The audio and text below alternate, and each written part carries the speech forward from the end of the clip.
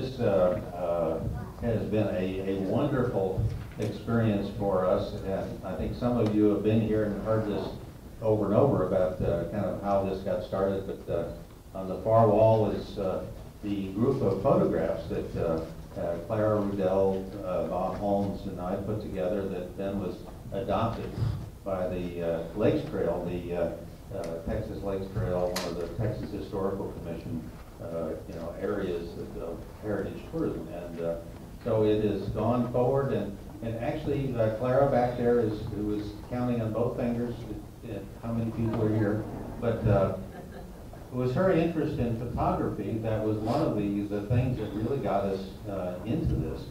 You know, this is several years ago. And so it's uh, really kind of interesting to kind of look back and how did we get into this. And the other thing are people, uh, and Lance being one of those that uh, through the years we've gotten to know that uh, from the Comanche world and that have made us so interested in you know, learning more about that history. Well, I want to acknowledge our sponsors uh, here on the, the board, uh, but uh, we have really appreciated the fact that they had that interest, everything, you know, in terms of the mayor's promotional fund and, and uh, the the Worthington Hotel, the library, the, in fact, the, the uh, Imagination Celebration uh, is the group that uh, works with us, and we will have brought through, in, through the, really the, the good offices of Imagination Celebration, 1,400 kids through this exhibit and two other kind of components of it, uh, researching a computer about uh, Quanah Parker and the Comanche history, uh, as well as uh, another session with the, the woman uh, who runs, who has a program, or runs the program in the uh, independent school district uh, for Comanche children, and, or for uh, children of Indian background. So anyway, that's kind of the, uh, the background of uh, how we have gotten here. And also, I want to thank Bob Venable over here, the, uh, the one who is filming all of you, as we've said in the past, if you are wanted by Pinkerton or any of the other uh, law enforcement agencies, hide your face or put your, your face in a, in a bag or something. But, uh, so, uh, but uh, we will have, in fact, all of these, all 13 sessions uh, that will have been filmed and recorded, which is a really a special thing, and the, the library will have a full set of those. Well, anyway, tonight, uh, I think we've all been looking forward to this. Uh, but in fact, none of this would be possible if it hadn't been for the help that Lance, Ben Tahmahkera, Jim Lane, uh, the Applewhite, Clark Applewhite collection, uh, provided us. Because one of the things that I think is so true, you can see things on a wall, pictures and images, but it's also seeing objects that is so, so important. And I have here, you know, where did it go? It, oh, it's back here. You're gonna talk about the, well, actually, let me. Lance, um, loaned from his family, uh, some wonderful objects that are in, in, as you come in the exhibit. And it's just, uh, just stunning, the, the beauty of them and the variety and, and, but this is a hoof stand for, for horses. And it was too large to fit in any of those. And I just wanted to make sure that Lance knew that we hadn't run away with it. It still exists, uh, and, and there it is. But uh, it is one of the other items from Lance and his family that uh, did not get on display. But, you know, when you think about, this was Quanah Parker's, and, and, I mean, it really gives you a tremendous feeling, you know, both that the history wasn't that long ago, and the history was very significant. Well, I'm going to turn this over to Bob Holmes, uh, and he was very important because we had to recruit a tall guy to put all the exhibits on the wall. And so qualified for that. But he's, he is going to introduce uh, uh, Lance. Also, uh, my wife is here, so turn off your phones, everybody. Uh, and uh, so, uh, and uh, but Bob, please introduce Lance.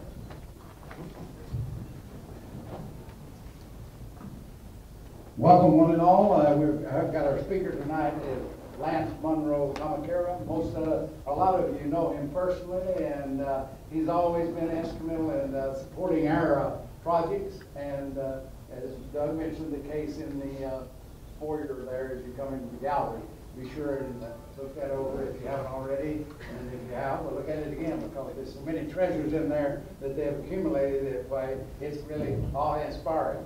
Lance was uh, born in Fort Worth and uh, raised in Fort Worth, so uh, we'll uh, kind of mention uh, some of his items about his working career. He's uh, an imaging manager for Texas Health Harris Methodist Outpatient Center in Burleson, son of Monroe and Pat Tahmahkera. He was born and raised in Fort Worth. He is married to Debbie Tahmahkera, and they have a son, Lance Tahmahkera. Lane. Lance has been uh, with the Harris Hospital of Fort Worth uh, group for 36 years in the radiology and imaging department and currently manages their imaging department in Burleson. As a great-great-grandson of Chief uh, Quanah Parker, much of his youth was spent on weekends with the family and powwows in Oklahoma and the Dallas-Fort Worth area. For him and his parents, these powwows were a way to, for the family to stay connected with their Comanche traditions and spend time with family and friends. For the past 20 years or so, he's been asked to speak at various uh, venues like the uh, school children, scouts, and uh, any other organizations or groups that's interested in the Comanche people and Quanah and uh, his uh, mother Cynthia Ann. He likes to share that with those, those stories and tidbits of information that are, uh, they grow over the years. Like he likes to share them with all. So we will, uh, without further ado, put our hands together for our speaker,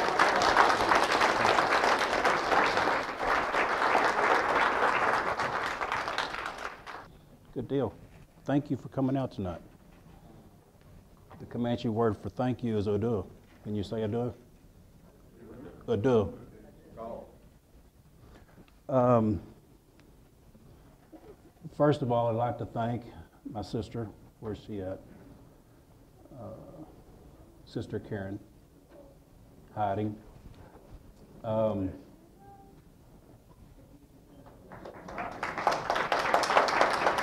if, if you want to add to any of this, great.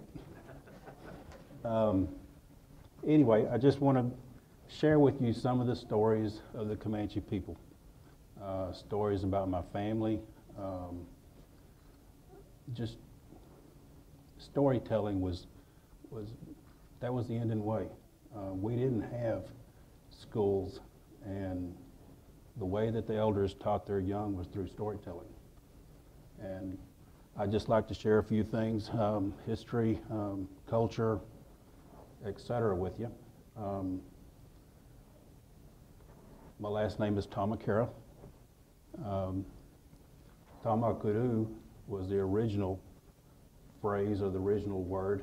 Um, that was my uh, great great grandfather's name, and it got changed to Tahmahkera whenever the all the uh, Indians became U.S. citizens in uh, 1924. Uh, that's what the guy wrote down was Tahmahkera. So that's what we got.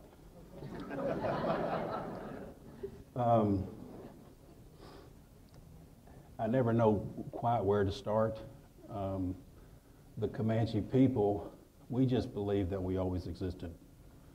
Um, it's pretty much agreed to that we're a spinoff from the Shoshone tribe. Um, story that I'd read was that um, the Comanches, they wanted to pursue the horse as a means of travel. And Shoshones, they were more in the northern area, um, Wyoming, area around that.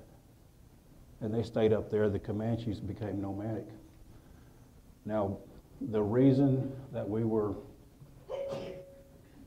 so nomadic would be why? The bison? That's correct.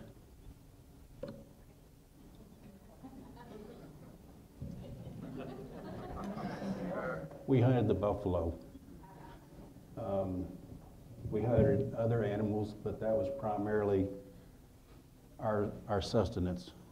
And the tribes would, spring, summer, into the fall, we really hunted hard because come winter time, we needed to find a place where we could settle down that was sheltered from the weather. And we would hunt these buffalo wherever they roamed. Uh, It was estimated that maybe, maybe there was 45 million buffalo out on the, out on the plains. I've read those numbers. Before it was all said and done, and before it's all said and done, and Quanah was surrendering, there were maybe 1,500 out there on the plains. We had, we were starving, so we had to surrender. But um, the buffalo, we used everything on it. You know, the, the, the horns, the, the, the hide, the fur, the meat.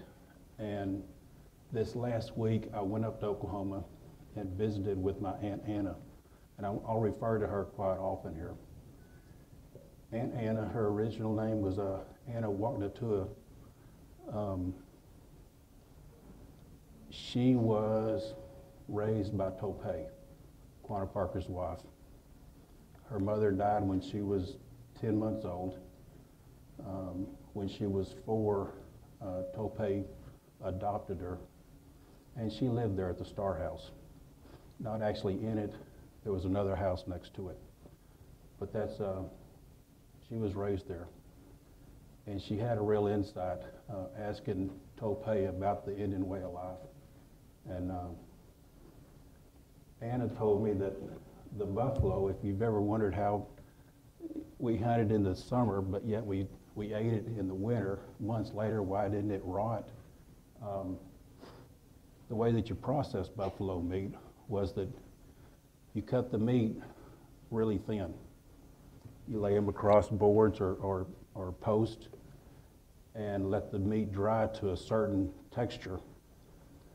And at that point, you would throw the meat on coals and let it cook.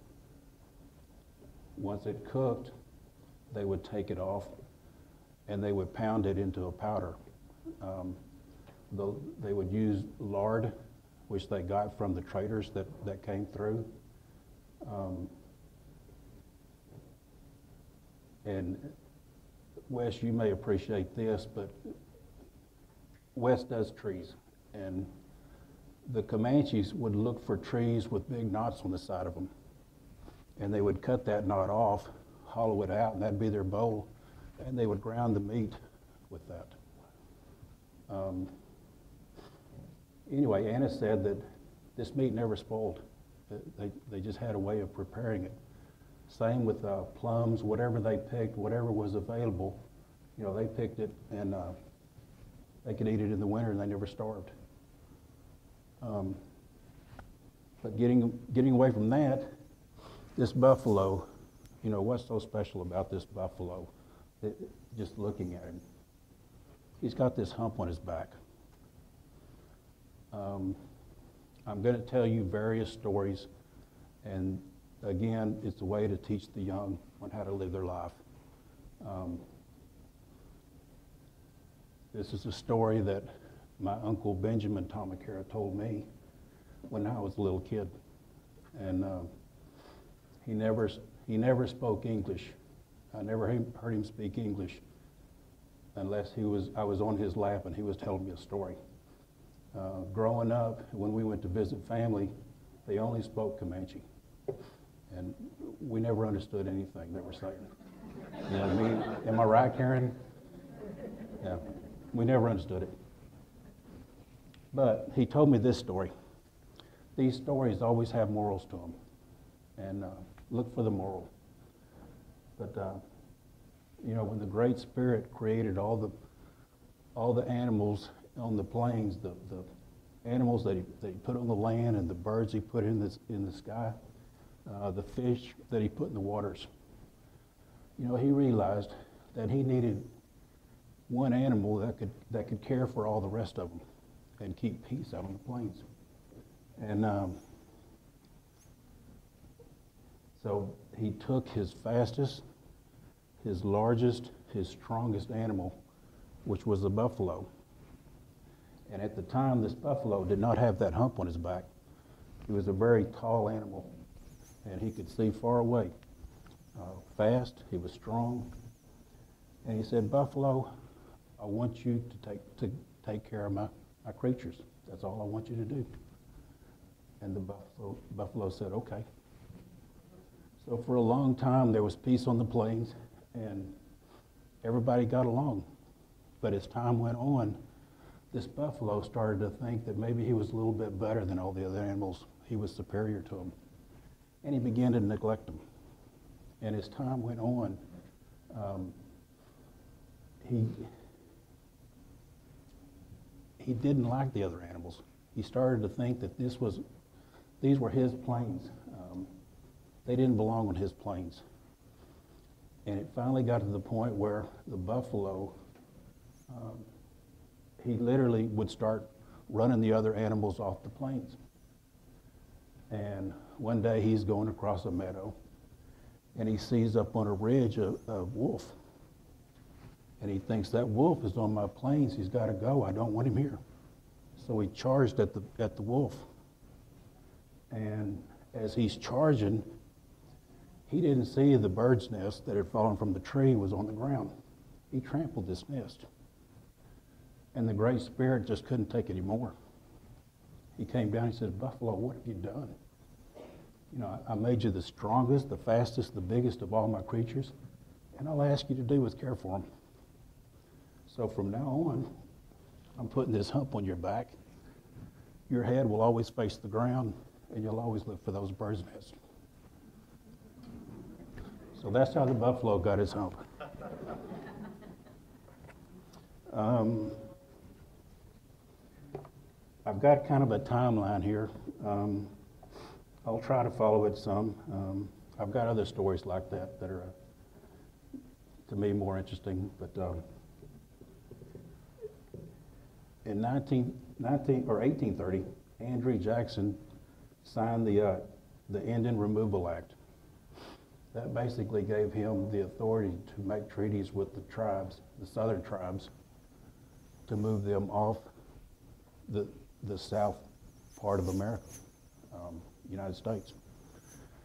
And okay, well, he was able to do that, but 1834 came around, and somebody realized, well, what are we going to do with these people when we move them out, out of Alabama and Georgia? What are we going to do with them? They established the Oklahoma Indian Territory, and you know the five civilized tribes: uh, Choctaws, Cherokees. Um, they had to go, and uh, they got pushed to Oklahoma. Um, move ahead a couple of years, and let's talk about 1836. What happened um, the last week of February, first week of March of 1836? Who can tell me what happened then? The Alamo. Things are related here. Um, what happened the next month? San Jacinto. What happened the next month? Now we're talking about Cynthia Ann. Um, these, these three great events happened within two months of each other. And Comanches, other tribes, they raided Fort, Fort Parker and they took, um, what was it, five captives? Miss Plummer, Miss Kellogg, uh, John Plummer, or James Plummer, I guess, um, Cynthia Ann and her brother John. Cynthia Ann was nine years old at the time, and John, her, her brother, was six. Uh, why would they take these people? Any idea? Now, see, I'm used to talking to these little five, you know, fifth graders. You guys are usually just jumping right in. Pardon me? try to trade them. That's right. That was one of the reasons was you could treat these people like they were money. They were commodities. You could trade them for whatever goods that you wanted. Another reason was it simply helped replenish our tribe. You know, we had diseases and people died at early ages, and you had to replenish your tribe, you know, otherwise it dies. Cynthia Ann was raised um, with the Comanche tribe. Um, Miss Kellogg, Miss Plummer eventually uh, were ransomed back. Um, I'm not sure what happened to James Parker. Um, John, uh, uh, not, J- not James Parker, um, James Plummer. John Parker, his story is almost as interesting as Cynthia Ann. In some ways, it's more interesting. Um, six years old, he's taken off, and he's raised as a Comanche. And he lived with them for probably nine years, maybe. And for whatever reason, they ransomed him back. Um, and he went to go live with the white man again. And he didn't like it. He goes back to the Comanches. And, you know, so he's, he's going both ways here. And what happens about 1860? The Civil War. Well, Texas, you know, he wants to join the, the, the Texas Confederacy. He goes and fights in the Civil War. After that, he comes back and uh, uh, lives out his life in Mexico. Um, there's a story in there when he, the first time he went back, um, he, uh, he was out on a raiding party. He got a sickness, and the people that he was with, you know, they had taken a Mexican woman captive. They're coming back, and he got sick. Well, they didn't want to get sick, so they left him. And they made this Mexican woman stay with him and told, told her to nurse him back to health. She did, and they married. And that's who he, that's who uh, he spent the you know, rest of his days with in Mexico with. But his story is just as fantastic as hers. Indian children, when there were raids, etc., they were taken and they were raised as whites. And quite often they didn't want to go back to the Indian ways. It was a two-way street here. Um, Cynthia Ann, she was raised as a Comanche. Um, my Aunt Anna told me um, she was talking with Tope one day, and she says, Tope, did, did the Indians really accept her, knowing that she was white? She had blonde hair. Um, uh, the, the preparation of the, the buffalo meat, did she participate in that? She, was she more aloof? And Tope said she was Indian. She did everything that all the other women did. Um, if, if it was unpleasant, whatever, she did it. She, whatever needed to be done, she did it. She was a, she was a total Indian by then. Her recapture at the Pease River, coming back here to Fort Worth, that was against everything that she wanted. Um, story I was told was that she was brought back to Fort Worth and there was a department store somewhere here downtown. She was put on a soapbox, and people were charged a nickel to come see the white woman that lived as a Comanche and was returned. Um, she, Isaac Parker, took her in, and this last week was the uh, uh, presentation, or, or, week before, on uh, the Parker cabin. Um, she had to live there for a period of, I, I, don't remember if it was two years or 12 months, whatever, but she ended up in East Texas. Um, and I think she, she passed away at, what, 1870? Um, but she was heartbroken. She wanted to be back with her people. Um,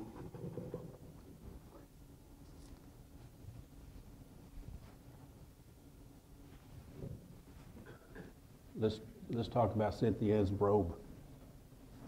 When she was captured at the Pease River, supposedly there was a robe that she had around her. And Sul Ross took this robe and kept it. Um, the Fort Worth uh, Museum of Science and History, uh, it was donated, uh, the, the people that had it, they donated it to to the Fort Worth Museum, and since I think it was in '74, maybe, um, but that supposedly was the robe that she was wearing. Um, friend of a friend, uh, his wife's director, she got us in to see this robe, and it was in a warehouse there off Montgomery Street. Um, Tom, uh, Tom Saunders, rancher there in Parker County. Uh, she's the director, or was a director there at uh, the museum. My sister Karen on the far right, and uh, you know the bear's saying something to her in her ear. I don't know what he's saying. But, uh, our next slide.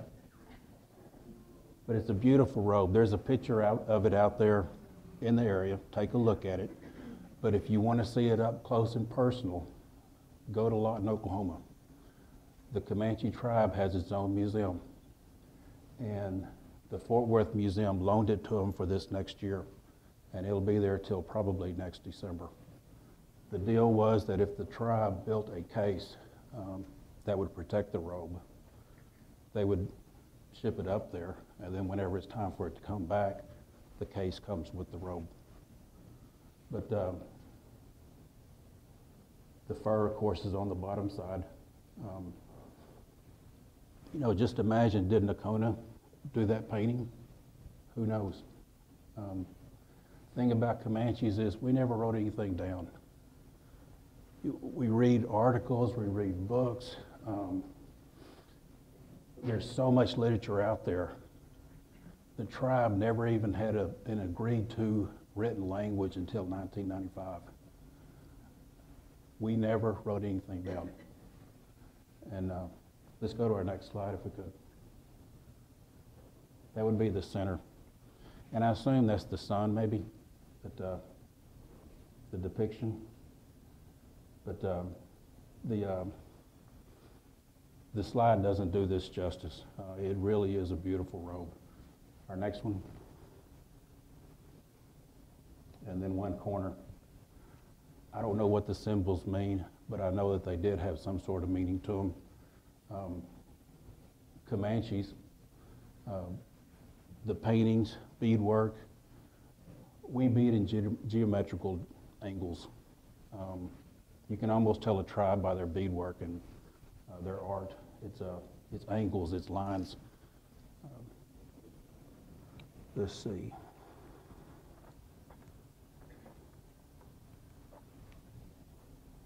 What slide is that? Seven, let's see number eight. And then uh, I think that's the, uh, the top of the road there. Anyway, it, it's up there in Lawton. All you gotta do is go up there and have a look. And there, if you wanna know about Comanches, man, that's where they're all at. There's about fifteen, little over fifteen thousand of us, and half of them live in the Fort Sill, Lawton, Walters, Cache area. Um, But the, the really neat museum. And some of the art, some of the things hanging on the wall, the museum donated down here. Uh, kind of the history on the, that back wall over there. Um, Moving on a little bit here. um, This, let's go to our next slide. Is that it? Did we go to nine? Eight, nine? Okay, well, let's go to nine then. Okay, the, the Comanches, like I said, there were millions and millions of buffalo. And as the buffalo hunters killed off the buffalo, our source of food went away. More and more tribes were, were having to relocate. Um, let's go back to nine.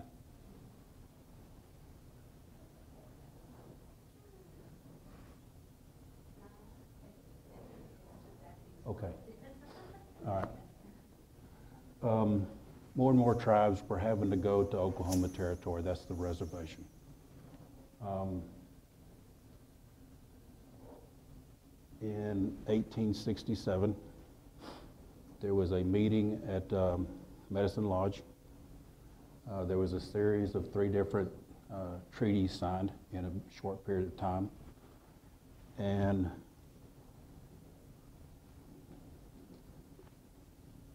there were like two dozen, for the Comanche tribes, there was like two dozen signatures of, of various bands surrendering and agreeing to go to the reservation. What that meant was that the tribe would stop warring, stop raiding. Um, they would go live on, on this area. Um, down here would be somewhere around uh, Vernon, Texas. This would be like Elk City. And this is Chickasha. Uh, Norman, Oklahoma would be up in here. Uh, this would be down in Gainesville. Um, it was a three million acre reservation. Um, but when you compare it to the size of the land that we roamed, that we were free on, it's just a drop in the bucket. But it is a beautiful place up there. If you ever get a chance to go see that area, it's rolling hills. It's uh, the Wichita Mountains are up there. Uh, it's just it's a great place to spend a day driving around. But the treaty itself, the Comanches had to go live on this reservation. Um, in return, well, they had to also allow for uh, a railroad to be built across the, the reservation so that they could transport keep people and cattle. Um, in return, the buffalo hunters were not allowed in this area. Um, the government would give annuities, uh, money to buy things. Uh, they'd give them rations. They would provide uh, a hospital. They would provide schools. Um, they would they would do what they needed to do to get the Americans or get the the, the Indians, the Comanches, Americanized. I think was the term. Um, now, they understood that um, the older Indians, the ones that, that fought, that hunted, they just couldn't change their lifestyle. Um, they were set in their ways. And the deal about schools was if you really want to change a generation, you start with the little people that are just learning and teach them what you want them to know. And uh, there was a uh, Fort Sill Indian School opened in uh, 1871. Um, 36 was 19 or 1836 was a big year because of the Alamo, the San Jacinto, Cynthia Ann. 1871 to me was just as big. Uh, two things happened. Uh, the Fort Sill Indian School opened.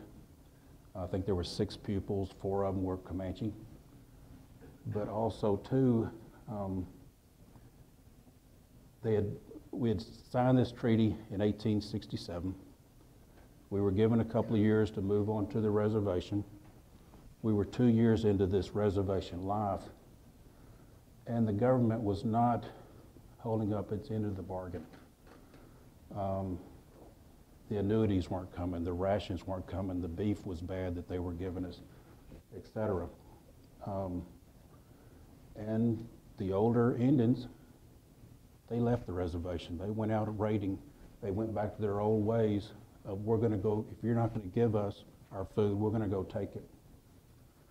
Um, Fort Richardson, do y'all know where that's at? Going up Jacksboro? Jacksboro. Yeah. It's what, about 40, 40 miles northwest of us between here and Wichita Falls? Um, Sand Tank, Satanta, Big Tree. There were Kiowa chiefs.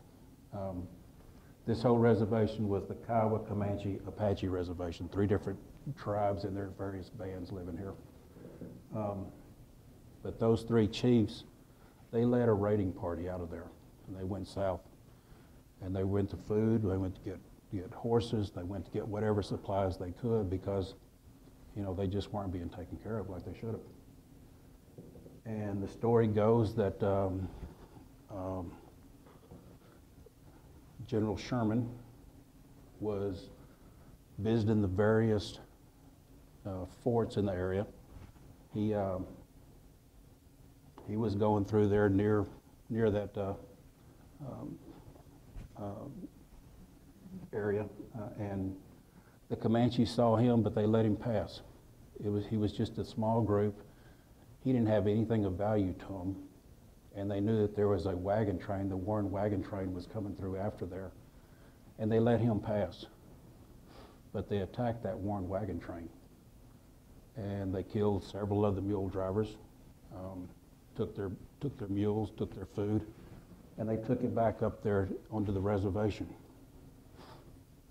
It was, um, it was life as usual for, for an Indian. I mean, that's just, that's just what we did. Um, if we wanted something, we took it. Um, but um, the general didn't see it like that.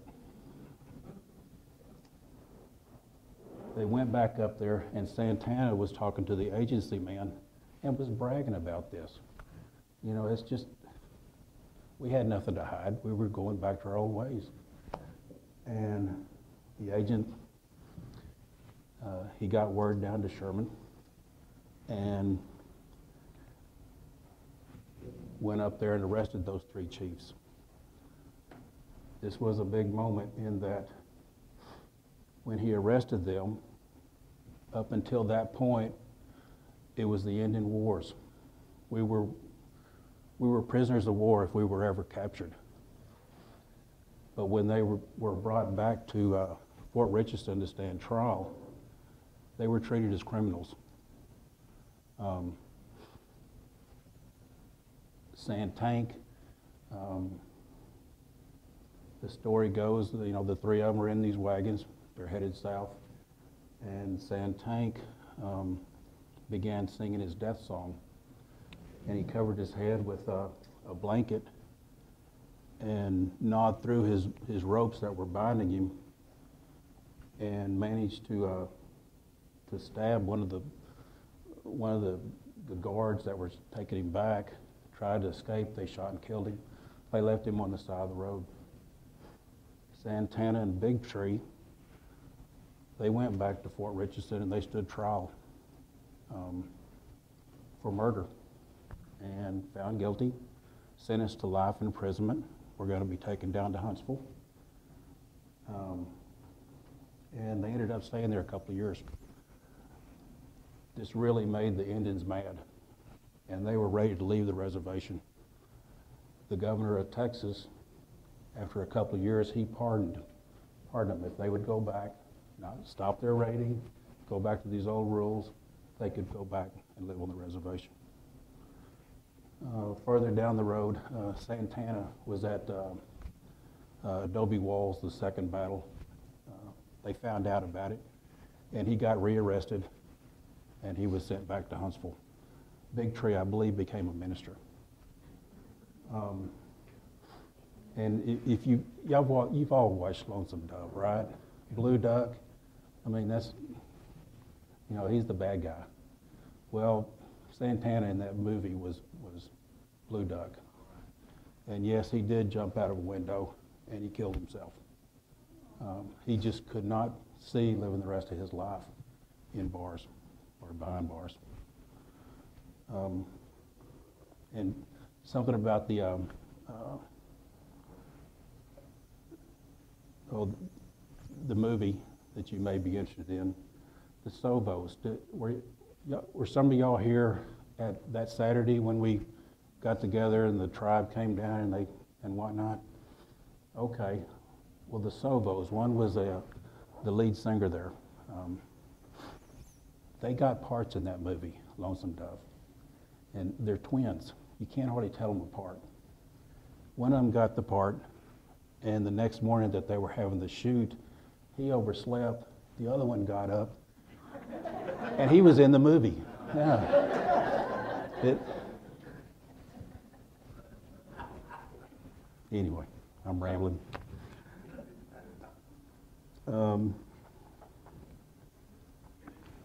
anyway, that's for us. We we were no longer treated as prisoners of war as, as a, a, you know, the north-south kind of a thing, we were treated as criminals for anything we did after that point. Uh, the Medicine Lodge Treaty, up until that point, um, the government made treaties with various tribes, and those tribes moved onto the reservation. The Medicine Lodge Treaty was the last, if not one of the last, uh, times that was ever done. Um, From then on, Congress made laws, and there was no more treaties with any more tribes. It was all laws after that, on a bigger scale. Um, Again, we're into this Americanization process. Um, What else we got here? We'll lighten the mood here. Let's go to the next slide.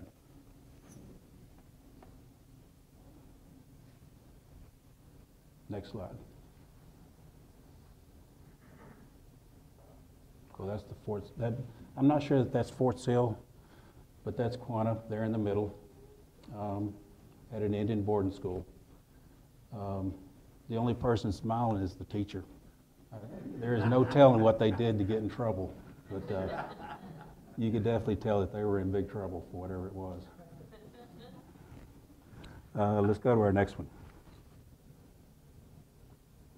There we go. Um, When I give these talks, it's usually a show and tell with, the- with the kids. And um, we're going to have a show and tell. That's okay with y'all? That would be a wolf. And obviously, there's a disagreement over who's going to have the carcass at the bottom. Um, I'd bet on the eagle. It's a golden eagle. You can tell by his feathers. Um,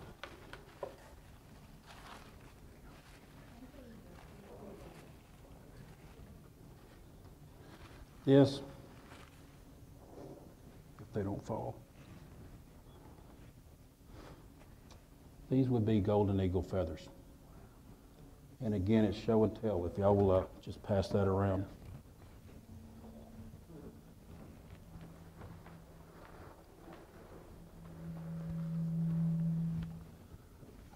Um,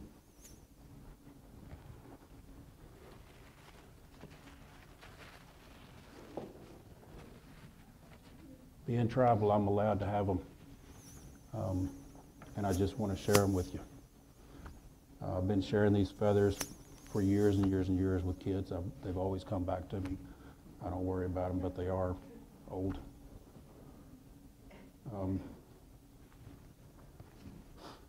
if you notice, those the golden eagles, there's the white on the bottom. As the eagle matures, the feather becomes less and less white.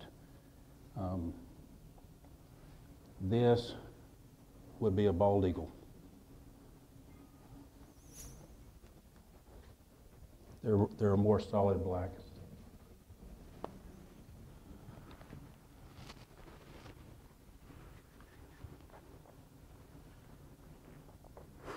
Now, this story I'm going to tell you, it's not a Comanche story, uh, but it's, again, it's, it's the elders trying to teach their young. And there's a tribe out in, uh, out in uh, California that when their young people become of age, uh, they tell them the story of, of the mating of eagles. The female eagle, when she, when she matures enough, um, she will try to go out and find a suitor. And a male eagle would fly with her, and they would match up, and they would just fly along together. And if, and if, they, if they flew well and she liked him, she would go down to the ground and pick up a stick. And they would fly way up high, and she'd drop that stick. And the male eagle, by instinct, would literally dive down and grab that stick. And if he did, great. They'd fly along some more. She'd pick up another stick a little bit bigger next time. And it literally gets to the point where she's picking up a small log. And they're flying up, and she drops this log. If the male eagle fails anywhere along this line, to, to grab that log, she flies off in another direction and she goes to find another suitor. They mate for life. They, they you know, they, that's just the way of the eagles. Um, now, why in the world would she be doing that? Well, who's got an idea why they would do that? Okay, well, let's go to our next slide. A couple of bald eagles. Um, you see the two eaglets. You know, sometimes when it's time for them to leave their nest and try to fly on their own, they don't always make it. That's his job is to be there and get him before he hits the ground. It's the moral of the story. Y'all tell me what the moral of the story is.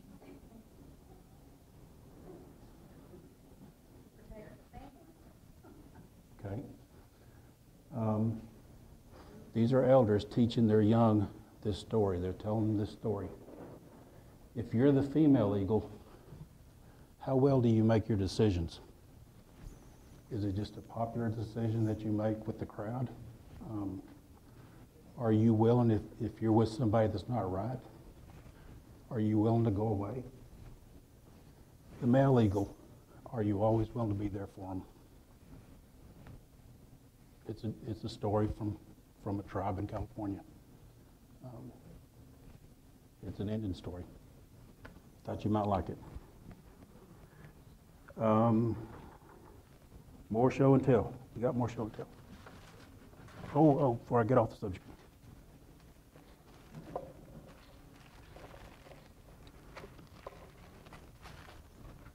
I'm not going to pass this feather around. Would y'all agree that that's a beautiful feather? Karen, whose feather is this? It's your feather. When my, when my sister Karen got her Indian name, uh, Would you watch a? George, would you watch a? Um, only, only medicine man I knew. Um, there was a ceremony at a powwow, and he gave her her name, Nawasia, which is beautiful feather. That's, that's her feather.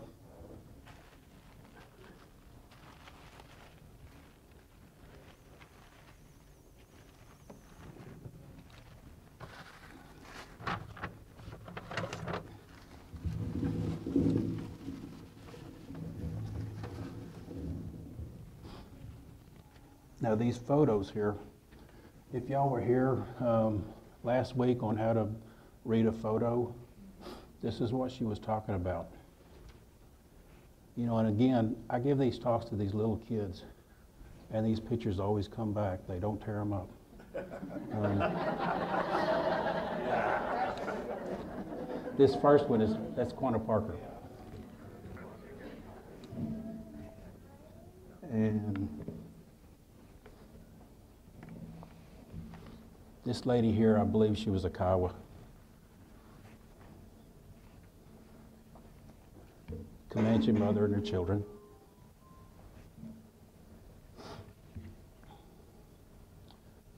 Another Comanche in a buckskin dress. These two gentlemen, am I, am I in the wrong spot? The gentleman sitting down, my great grandfather's name was Tahmahkera. He just had one name.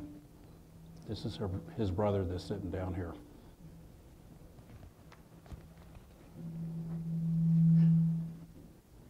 And this photo here, I know y'all can't see it from way back there, but I'm, hopefully it'll get, back, get up there to you. Um, you know, what do you, what do you yell when you jump out of an airplane?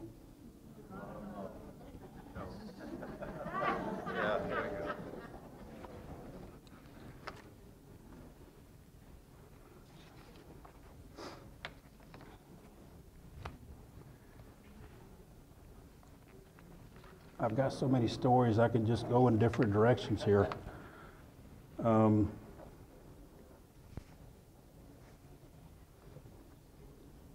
let's talk a little, little bit more about the uh, Fort Sill Indian School. It was opened in 1871. It wasn't a, a school like we know. Uh, when you went there, you went and you lived there. Um, like I said, half a dozen students, four of them were Comanches. Um, if, well, when they went there, it was run by Mormons, um, missionaries. Um, or, I'm sorry, Quaker, not Mormon, Quakers. And it was, it was a nice school. There was two things, two agendas here. Was that we want to teach you a trade. If you're a girl, you knew how to sew, cook, etc. If you were a boy, you know, you would learn how to farm or you would learn how to, uh, to make things. Um, it was a trade school kind of a thing. Half your day was spent learning uh, English, math, and then the other half was spent, you know, out in the fields or in a shop or something like that, or um, learning how to cook, how to sew. They were teaching these little children how to be Americans. Um, we were considered wards of the state. We weren't U.S. citizens. Um, they were trying to teach us the American way. Uh, They wanted us to be like them. Before, um, the tribe raised the child. Um, the, the, the whole community saw to the, that child's well-being and taught them lessons. The American way became more of a, a home family lifestyle. They were trying to make this switch from the old ways to the new ways. Um, I read a, a small book that was written by several interviews with people that, with elders that went to this Fort Sill Indian School. And initially, they were afraid, it was a two-story building. They were afraid to, to go up on the second floor, so they were allowed to sleep in teepees in the front yard. Um, They just couldn't quite make that adapta- adaptation there. Um, you know, imagine you, the parent, turning loose of your six-year-old to go live somewhere for four or six months. And if it was far away and you had to had to do what you needed to do to survive, how often did you get up there to see that child?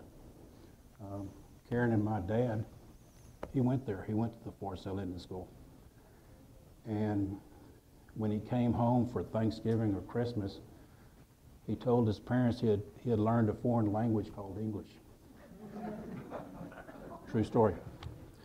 Um, but it got to the point where parents were proud that their children did go to the school. Because, I mean, the, the writing's on the wall. We're not going to roam the plains. We're not going to hunt the buffalo anymore. There's got to be a change. And they were proud that their child was learning how to survive as they got older. Um, 71's when it opened. In, I believe, 1879, um, they moved the school to Anadarko. If you know anything about the area, that's about 40 to 50 miles to the north of Lawton. Okay, well, you're the parent, and they're going to move your child another 50 miles away. You know, they didn't like that. And the government made them send their children. It did not matter. Uh, it was the, uh, the Indian Agency moved to Anadarko, therefore the school moved. And it was up there, uh, I believe, uh, 1890 is when it finally moved back to, to uh, Fort Sill and the Lawton area. Um, but during that time, if a family did not send their child to the boarding school, their annuities, their rations, the food, whatever was distributed, part of this deal, was withheld from them. So they were just, they were like captives. They had to give their children up um, to be that far away from them. Um, stepping back a little bit, 1871, Fort Sill opened. So did Carlisle um, up in Pennsylvania. Y'all, y'all have heard of that school up there, Jim Thorpe went to it. Um, Quanah Parker sent, I want to say he sent three children initially up there to, to the, uh, the school. And, uh, interesting story, when we were visiting with Ann Annis this last week, she, you know, she was walking through the exhibit here. And there's a picture in the far corner of uh, Quanah, portrait of his family and there at Carlisle. And Anna said that uh, one of his daughters, you know, he, he takes the children up there. He goes back down to, to a Cache Lawton area where he lives. And it wasn't no time, and one of his daughters was back at the house. She didn't speak English. She didn't have any money. I mean, how in the world did she get back down there? So, you know, Quanah, I mean, he's no dummy. He started asking around, you know, how did she get back down here? And Quanah, he had a bunch of cowboys working for him. If you didn't know that, they, they ranched, they cooked, they took care of the place. Um, he started asking around. They said, go ask the cowboys. So he goes and he asks the cowboys, and nobody, they're all afraid of him. And nobody would tell him. But finally, one of them spoke up, and they said, you should go talk to this, this fellow. He probably knows. He goes and talks to this other cowboy, and the cowboy says, well, she's kind of sweet on James Cox. Okay, well, Quanah, he wants to talk to James Cox, James Cox next. And it wasn't any time that uh, she became Mrs. James Cox. So- but that's a story that Aunt Anna told me, you know, out there in the foyer. Yeah. Um, Fort Sill Indian School, it was a, a success. Uh, it opened in 1871.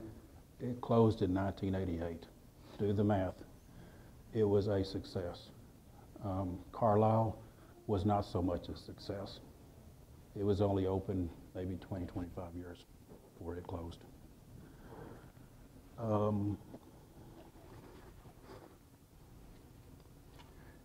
the Medicine Lodge Treaty, it wasn't one of those treaties that we've always heard about where as long as the wind blows and the water flows and, you know, the grass grows kind of thing. It had an expiration date on it, 30 years. 1867, do the math. We're getting here at the turn of the century. Oklahoma is about to become a, a, uh, a state. And everything was coming together here, these changes. You've got all these Indians on that map there, living in that three million acres. Um, the, the Dawes Act was passed, which basically said a man that's married will get 160 acres. And they, they'll have that land to, to ranch or farm on. If you were single, you only got 80.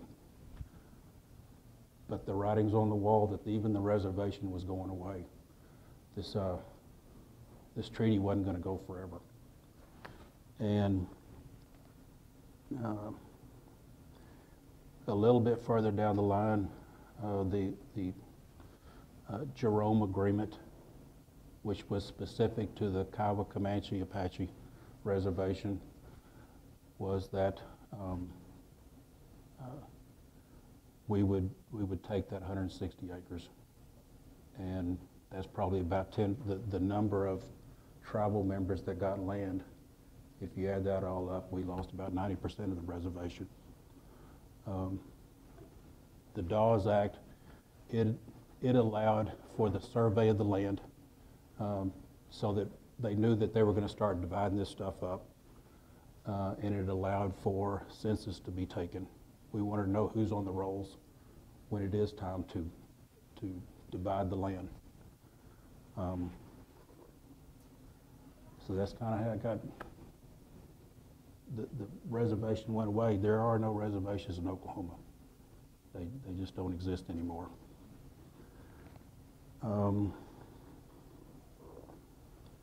moving forward, Oklahoma becomes a state in 1907. Uh, 1911, um, Quanah dies. And story that maybe you're not aware of was that four years, about four years after he had been buried in Post Oak Cemetery, which is, uh, you've got Lawton, Cache, Indiahoma, and a little bit to the northwest is, uh, was the Post Oak Cemetery. He was buried there. Um, about four years after that, uh, robbers came in and, and uh, desecrated his grave. Uh, if you've seen pictures out there, you know, Quanah had a pendant that he always had.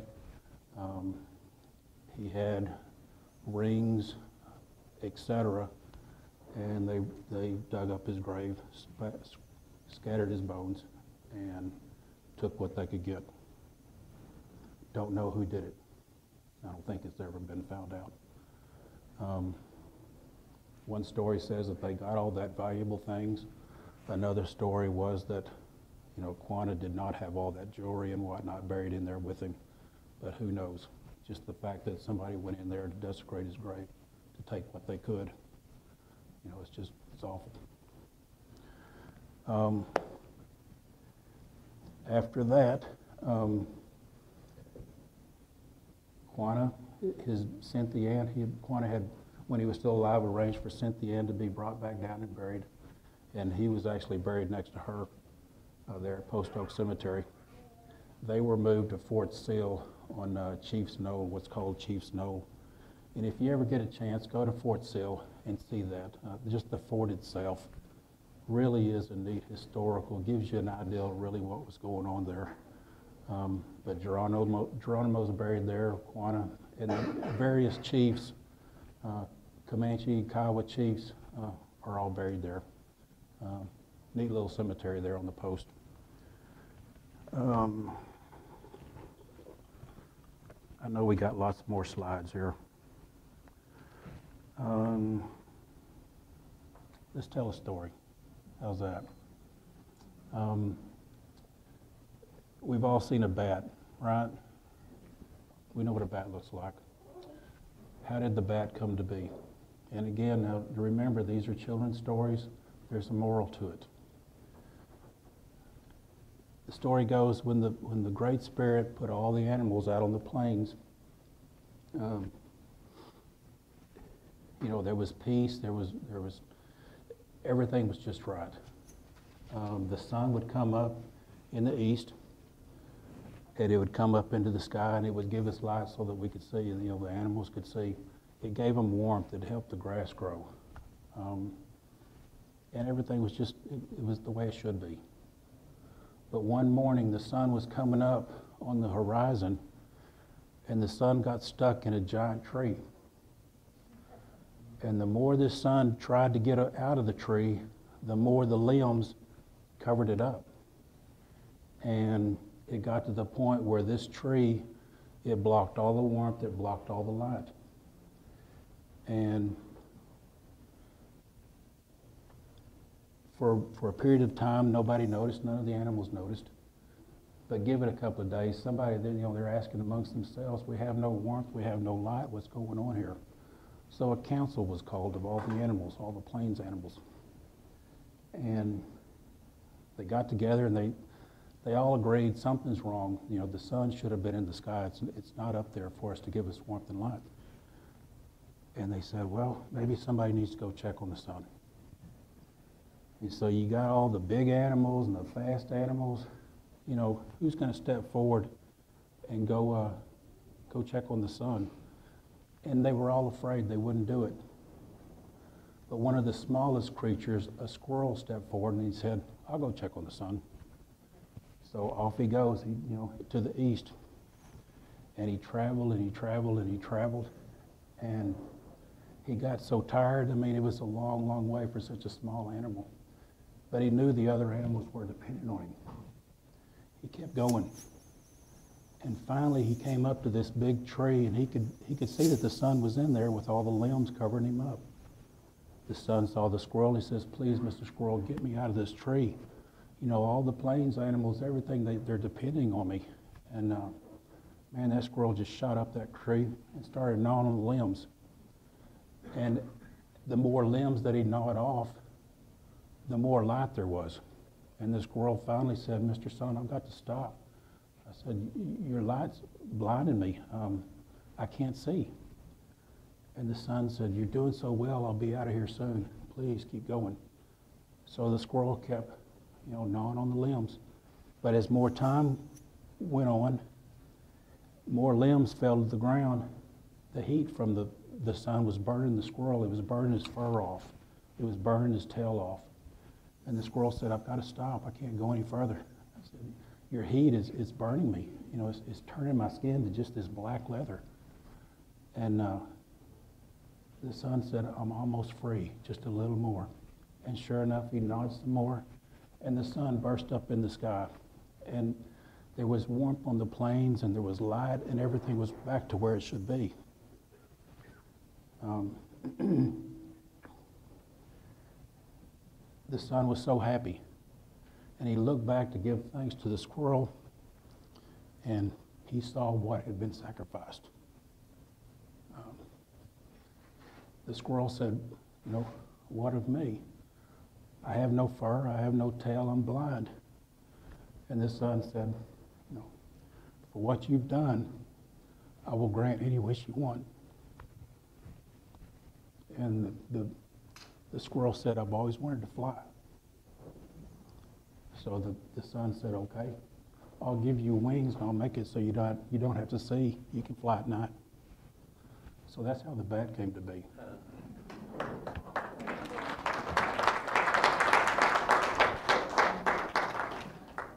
There's a, how am I doing on time? I'm just rambling here. Uh, about an hour, so. Okay, I'll wrap it up pretty soon here then. Um, a story my dad used to like to tell was a possum. We've all seen a possum, right, with the beautiful bushy tail? No. You know, it's the ugliest tail that, that there is. All right. One day, there's the possum with this beautiful bushy tail, and he used to have a be- beautiful bushy tail, uh, was down at a, at a pond, and he would just dig down a little bit, and he would pull up an onion and eat this onion. And um, oh, he was just, he just, he was in hog heaven, just loved it. And he looked across the pond, and there was this badger, you know, bigger animal, a little bit longer arms. And the badger dug down a little deeper than he did and pulled up a, an onion, a serious one. And the possum gets to thinking, you know, if I get really, really deep, I will get a big onion. And I won't have to do all this digging. I can just eat for a week on this thing. So he starts digging. And his short little arms, he can only go down so far. And he's thinking, how can I get down deeper? And he says, I've got this tail. So he spins around with that tail. He's digging out a deeper, deeper hole. And darn if he doesn't get his tail stuck in the hole. He's stuck. He's there all afternoon long, all night long. He cannot get out of this hole. This, this tail is just stuck. And the next morning, you know, when he finally got his tail out, all his fur was gone. So that's why the possum doesn't have any hair on his tail. What's the moral of that story? You got it. Um, I'll tell you one more last story, um, and it's a short one. My, my dad loved to tell this story, um, but it was uh, the turtle. We've all seen a turtle. The design on its back, kind of a, you know, almost a, a puzzle look on it. Um, one day, an, an, an old woman um, was grinding corn, and a turtle came up to her and was just staring at her. And the uh, the turtle, um, you know, she said, you know, go away, turtle, you bother me. I'm grinding corn, and he wouldn't leave. And he just kept staring at her, and she kept telling him, go away, go away, and he wouldn't go.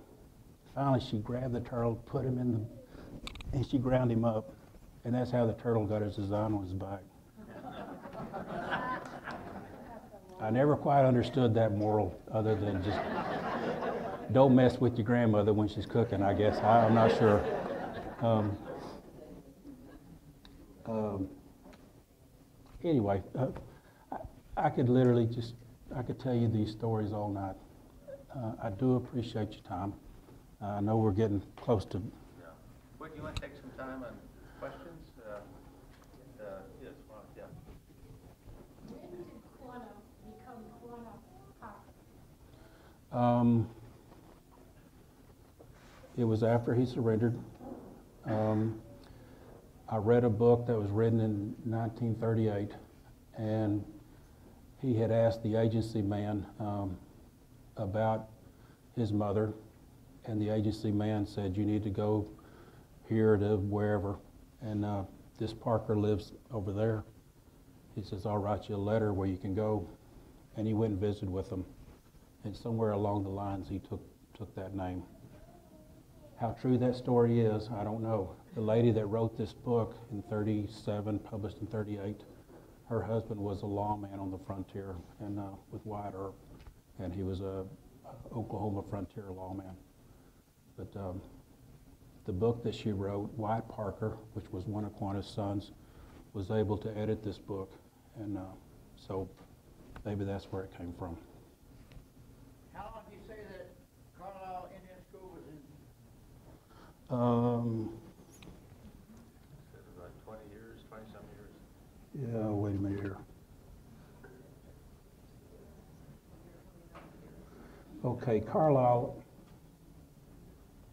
Carlisle opened in 1879. It closed in 1918. Uh, yeah, is there, we've seen a lot of pictures of Tom Parker, is there a picture of him ever smiling? I don't know. I've never seen one.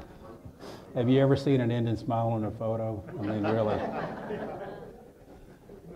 Is there a family association and how many descendants are there and are there, aren't there white Parker family and Yes. Indian Parker family? Do you relate to each other?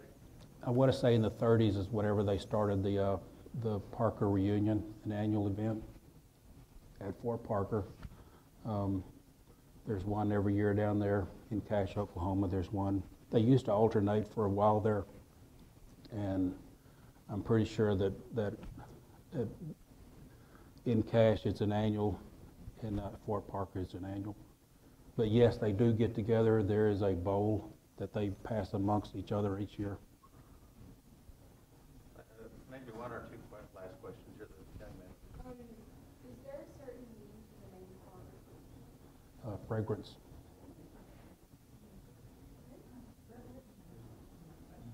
Why don't we leave some time to talk individually with, with Lance at the end, but I think, uh, this is so impressive because, and, uh, and I know that you'll be frisk as you leave, so that you get all the pictures and the, and everything back. Um, But, yeah. Before we get out of here, you know, part of the, part of the Indian culture, part of our traditions is when you've been honored, you give gifts. You know, and I'm honored that y'all are here. I'm honored that you have put this display for us to come see and uh, stories to come hear. Thank you for that. And,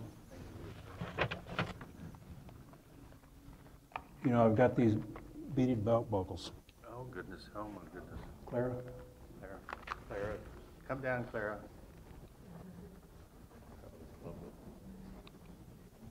You know, one of the things, taking the school children through, showing them the beaded items, that, that it's, it's, and, and, and the images, it's just, it's wonderful, so thank you very much.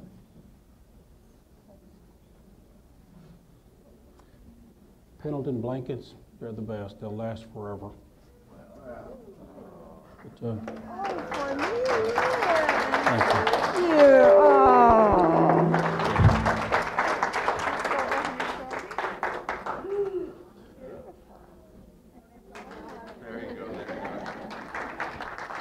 Thank you for your time. Um, I wish I could just go more, but, oh, well.